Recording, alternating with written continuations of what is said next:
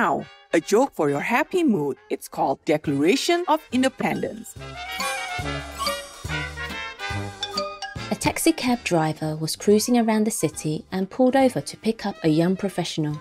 After noting the destination, the driver wanted to start a conversation. So he asked, Can I ask what you do for a living? I work as a script editor and also part time as a voiceover artist. That's cool. Me, I don't like working for no one.